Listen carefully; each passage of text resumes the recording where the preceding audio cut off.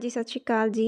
ਅੱਜ ਲੈ ਕੇ ਆਏ ਆ ਫੈਬਰਿਕ ਆਪਾਂ। ਅਲੱਗ-ਅਲੱਗ ਤਰ੍ਹਾਂ ਦਾ ਫੈਬਰਿਕ ਹੋਏਗਾ, ਬਿਲਕੁਲ ਨਵੇਂ ਡਿਜ਼ਾਈਨ ਹੋਣਗੇ। ਵੀਡੀਓ ਨੂੰ ਐਂਡ ਤੱਕ ਜ਼ਰੂਰ ਦੇਖਿਓ।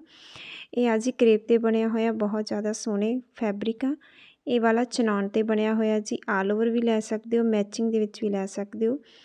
ਜਿਸ ਤਰ੍ਹਾਂ ਪ੍ਰਿੰਟ ਦੇ ਉੱਪਰ ਫਲਾਵਰਸ ਬਣੇ ਹੋਏ, ਉਸੇ ਤਰ੍ਹਾਂ ਸੇਮ ਪੂਰੇ ਹੀ ਸ਼ਰਟ ਦੇ ਉੱਪਰ ਪ੍ਰਿੰਟ ਦੇ ਉੱਪਰ ਜਿਹੜੀ ਵਰਕ ਹੋਇਆ ਹੋਏਗਾ।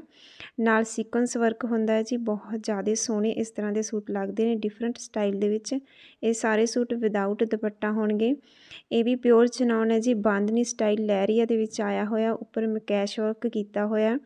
ਕਲਰ ਆਪਸ਼ਨ ਤੁਹਾਨੂੰ ਬਹੁਤ ਮਿਲ ਜਾਣਗੇ ਪ੍ਰਾਈਸ ਸਾਰਿਆਂ ਦਾ ਮੈਂਸ਼ਨ ਕੀਤਾ ਸ਼ਿਪਿੰਗ ਆਲ ਇੰਡੀਆ ਫ੍ਰੀ ਆਏਗੀ।